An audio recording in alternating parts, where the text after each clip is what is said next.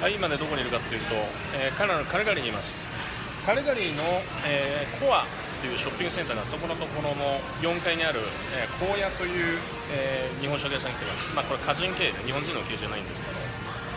で、えー今ラーメンということでシーフードラーメンを食べました。海鮮系のラーメンね、えーまあ、ショッピングセンターということでこんな感じでね。多くの人にお願いします。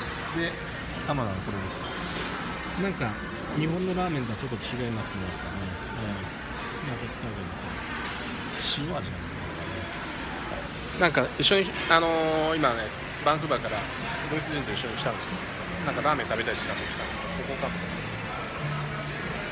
いい状態です。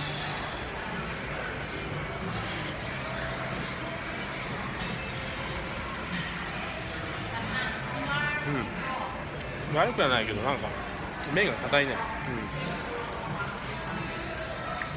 まあスープがちょっと辛くしたんですけどね。まあ悪くはない、う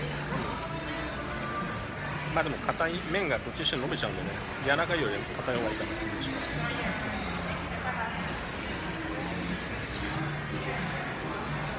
うん。